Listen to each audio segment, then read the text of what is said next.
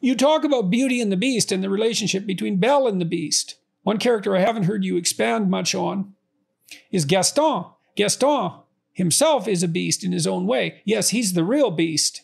Can you discuss the difference between Gaston and Beast and how they relate to the real world? Yes, uh, to some degree, I'll do that. We'll see how, how much I manage it.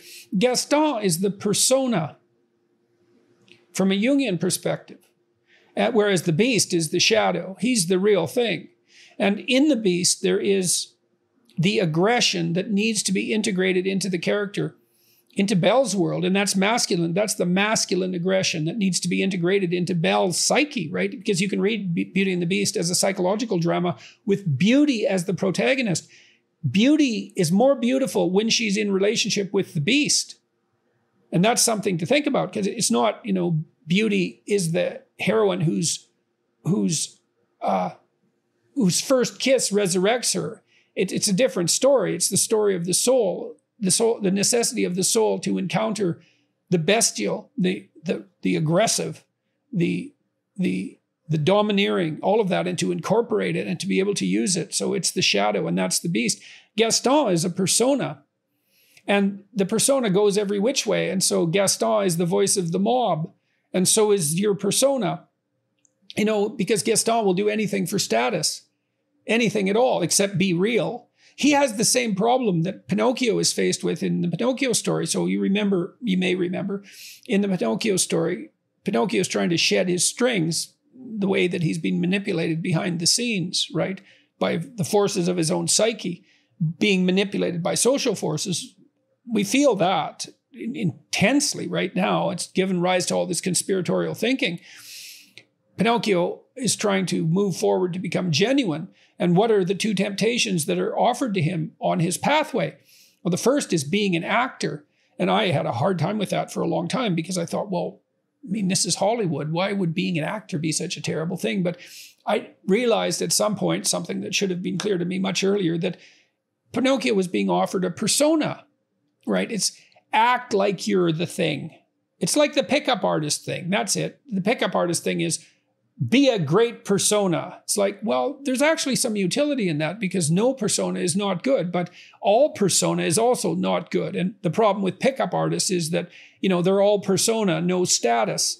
And no status doesn't mean no participation in the power hungry, you know, patriarchy.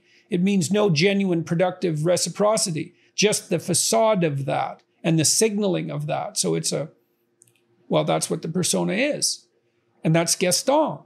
And obviously, he'll go whatever way the crowd goes, even if it means going after his loved, hypothetically loved one's father, or even if it means going after his soul's father, because Belle is his soul, and her father is the father of us all.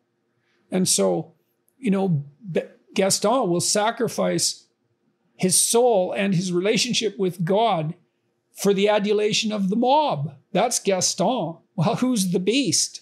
Well, obviously Gaston. Belle is smart enough to note that and also to be perplexed by her attraction to the beast. But, well, attraction is perplexing, and, and the redeemable beast is a perplexing entity.